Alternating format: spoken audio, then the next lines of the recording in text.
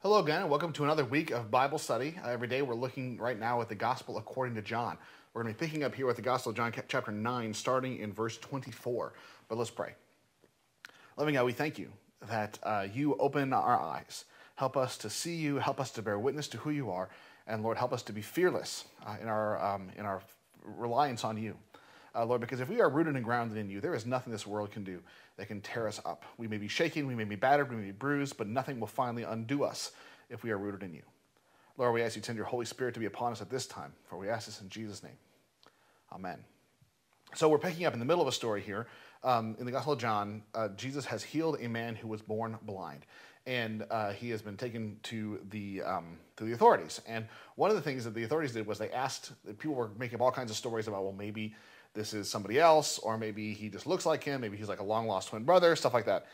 And so they finally come and ask his parents, and his parents say, Well, we know that he is our son, and we know that he was born blind, but how he came to see, we've got no idea. And kind of the narrator includes a remark to the effect that they were afraid that if, because if they were to then make a strong stance about, in favor of Jesus, then they might get you know, kicked out of the synagogue. Um, and uh, so anyway, in any case, they, they kind of almost pass the buck on to their son to say, he's of age, go ask him. So this is where we pick up in verse 24. So a second time they called the man who had been blind, and they said to him, Give glory to God. We know that this man is a sinner. He answered, that he answered, Whether he is a sinner, I do not know. One thing I do know, that though I was blind, now I see. So they said to him, What he did uh, what did he do to you? How did he open your eyes? He answered him, I told you already, and you did not listen. Uh, why do you want to hear it again? You do not want to become his disciples too, do you? They reviled him and said, You are his disciple, but we are disciples of Moses. We know that God has spoken to Moses, but as for this man, we do not know where he's from. The man answered and said to them, Well, here's an amazing thing that you do not know where he is from, and yet he opened my eyes. We know that God does not hear sinners, but if anyone is God fearing and does his will, he hears him. Since the beginning of time, it's never been heard that anyone opened the eyes of a person born blind. If this man were not from God, he could do nothing. They answered him, You were born entirely in sins, and are you teaching us? So they put him out. So, again, like I so often say with this, there's, there's a lot going on here. Um, and, and I want to kind of come start from the, the end and move back to the beginning because I want to kind of end with that beginning comment.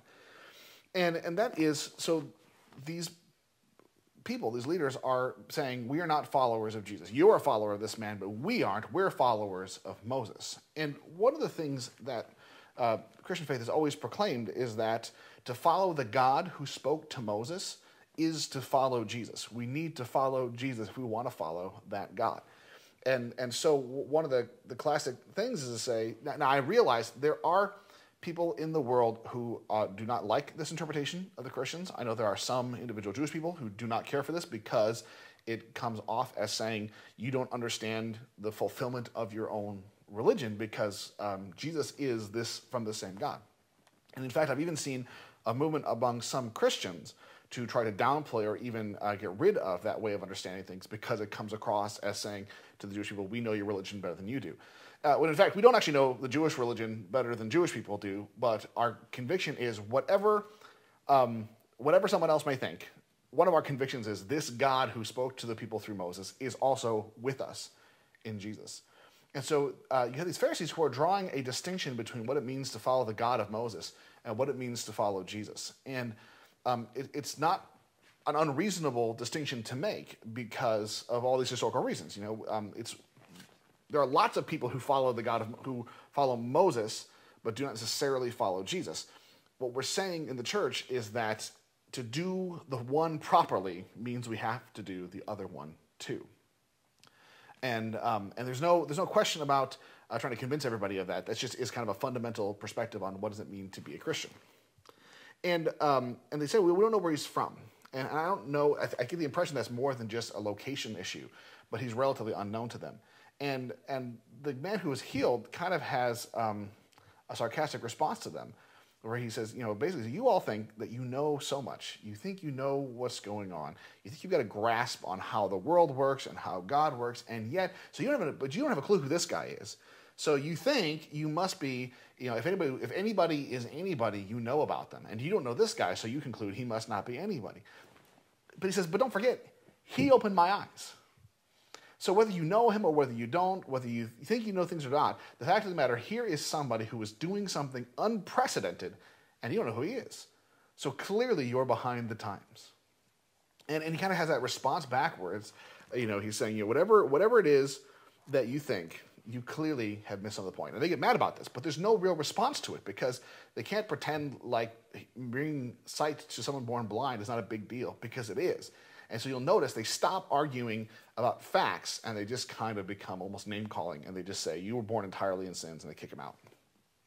Interestingly, uh, that's on there, I think, because at the beginning of the story, um, Jesus' disciples were asking um, whether it was uh, this man who sinned or someone else who sinned. And so Jesus had said it's not the one or the other. And so here you have then not only are these leaders rejecting what Jesus has done and who Jesus is, they're also rejecting his interpretation of the facts. But all of this uh, is very interesting, but it all relies on something that happened at the beginning of this passage. And that is, they say, you know, we know, we know that this man is a sinner. So give glory to God and tell us the truth. And his response is, you know, whether he's a sinner or not, I don't know, not my job. You know, I can't, I can't tell you whether he's a sinner or not. What I know and what I can tell you about is that he opened my eyes. And, and it's funny because as, as the conversation goes on, he begins to think more theologically and he starts saying, well, hang on a second. If this guy's, if this guy's a sinner, why is God listening to him? Why is God taking orders from him? Why would God heal me at this man's command if he was a sinner? It doesn't make sense. It doesn't hold water. But the point is, he doesn't even have to go that far because he can just, his, his testimony is so beautiful and perfect and a really great example biblically of what um, you know, kind of evangelism is for Christians. And that is, you know, he says, whether he's a sinner, whether he's not a sinner, I don't know. All I really know is I used to be blind, and now this man, Jesus, comes along and heals me, and now I can see. And that's really, if you think about it, the backbone of all helpful, authentic testimony, which is I was one way, Jesus came along and turned my life in a different direction, and now I'm in a whole different world. And there's really nothing, there's, there's no better example than that because one, you say, this is what my experience has been. Someone can't come along and say, well, you just don't understand, uh, or, or that you didn't have that experience. You know, maybe they want to come up with an alternative interpretation for it. But if you go from being blind to being able to see, if you go from a life where you're, where at least in your heart you know you were committed to uh, to yourself and to to sin in various ways, and now you're devoted uh, to God, and by being devoted to God, you're devoted to other people. Um, you know, there's really no, you can't deny that that's been a change. And you don't have to answer the question of whether Jesus is who he says he is, because all you really need to know is that, uh, that he's changed your life. And that if he is who he says he is, that's not a surprise. It's only a surprise if Jesus isn't who he says he is. So I, I think I've mentioned this before. Um, if I, if it were not for Jesus in my life, I would almost certainly, like, almost overwhelmingly, I would almost certainly be an angry, militant atheist who would probably go out of my way to tease Christians at every turn. That's the kind of person that I would be if Jesus hadn't come in and changed my life. I, uh, in my in my kind of what comes naturally to me, I'm extremely cynical. I'm extremely sarcastic, um, and I have all kinds of character flaws. Um, and at least some of them have been reined in dramatically by who Jesus is and what Jesus has done in my life. And so you know, if someone would come along and try to make an academic argument for why there can exist no God, eh, whatever that is saying, what I know is my life has changed because of Jesus. My life is on a different trajectory than I ever would have imagined it being because of Jesus. And as far as I'm concerned, that's all the evidence that I need. And to be honest, that change in my life uh, is a better argument, a better witness bearing than anything else that I can do. Because I can sit down, I can say, oh, the Bible says this, the Bible says that, here's the whole history of Christian thought and all the rest. But none of it is going to hold as much water as the fact that this is what my life was like, this is what my life's like now, and it changed because of Jesus. You don't have to be a Bible scholar. You don't have to be, you know, an infallible interpreter of Scripture. Just bear witness to what you know God has done in your life. And I know that that will be the strongest evidence, the strongest um, argument, the strongest evangelism you can ever do is to simply share what God has done in your life. Well, that's all for today. Uh, we'll come back again tomorrow and we will continue on with this story and continue up and finish up John chapter 9. Have a good day.